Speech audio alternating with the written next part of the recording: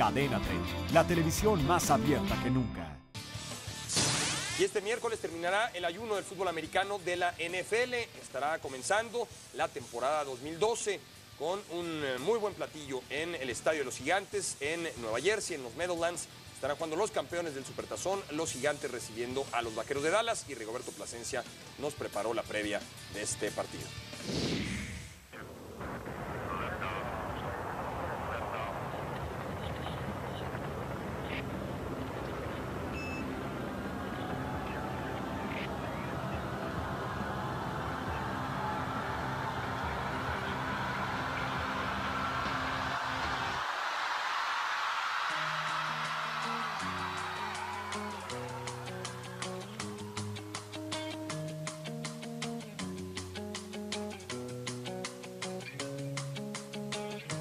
Retorna la NFL esta semana. Esto quiere decir que los próximos cinco meses estarán repletos de emociones y suspenso que solo brinda la National Football League.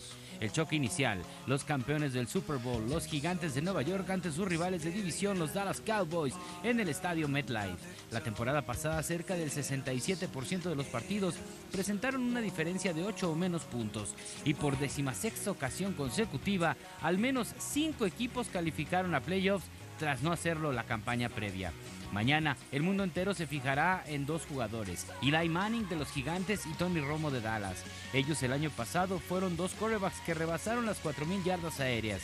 Manning estableció marca de franquicia con sus 4.933 yardas aéreas, además de que tuvo por tercera temporada consecutiva 4.000 o más yardas lanzando el balón. Romo superó las 4.000 yardas con 4.184, siendo también su tercera temporada con más de 4.000 yardas en su carrera. La campaña del 2011 fue solo la segunda temporada. Manning y Romo lo habían hecho en el 2009.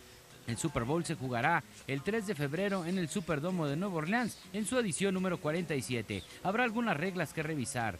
La seguridad de los jugadores es prioridad según Roger Goodell. Rudeza innecesaria que será para proteger a los jugadores defensivos. La revisión instantánea. También el tener más de 11 jugadores en el terreno de juego. Pero también se arreglará lo que es el tiempo extra. Debido a que la temporada pasada hubo algunas cuestiones que afectaron y ahora se manejará el mismo reglamento para pretemporada, temporada regular y postemporada. Por último, mencionar que esta campaña habrá varios equipos que rendirán tributo a jugadores que se adelantaron en el camino.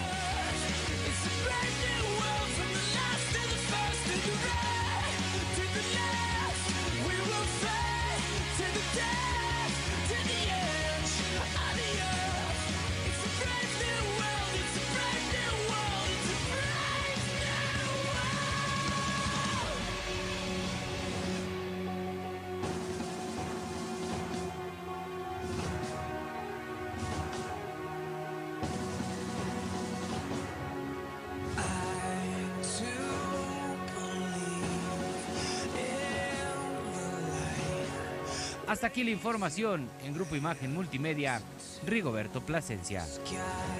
Cadena 30, la televisión más abierta que nunca.